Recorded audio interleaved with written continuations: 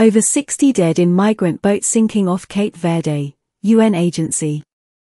More than 60 people are believed to have died after a migrant boat from Senegal was found off West Africa's Cape Verde Islands, the International Organization for Migration, IOM, said Wednesday. 63 people are thought to have died, while the 38 survivors included four children aged 12 to 16, IOM spokeswoman Safa Msehli told AFP.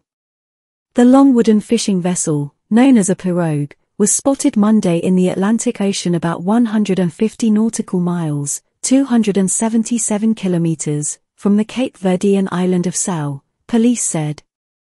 The Spanish fishing vessel that saw it alerted Cape Verdean authorities.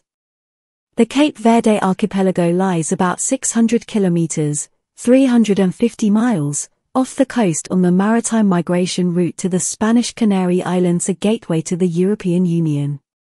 Emergency services recovered the remains of seven people, Msehli told AFP, while another 56 people are believed to be missing. Generally, when people are reported missing following a shipwreck, they are presumed dead, she said.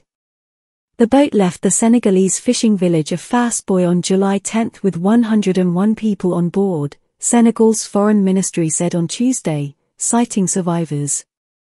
Apart from one person from Guinea-Bissau, they were all Senegalese. The authorities have not, for the moment, said what happened to the boat once it set off. But Abdou Karim Sarr, an officer with the local Fishermen's Association the CLPA, told AFP, those missing are all dead.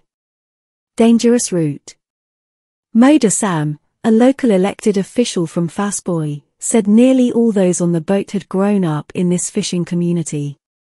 One of the survivors who had his father on the telephone told him that the others were dead, he said. Other families were still waiting to hear if their children were among the survivors, he added.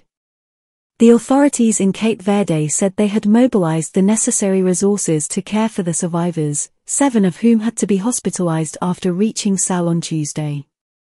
Senegal's foreign ministry said it would be working to repatriate its citizens as soon as possible.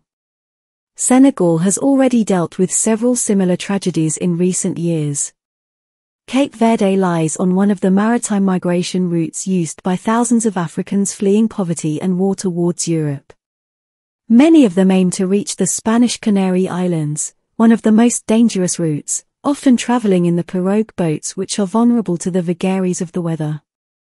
Around 90 migrants from Senegal, Gambia, Guinea-Bissau and Sierra Leone had to be rescued in the seas off Cape Verde in January this year.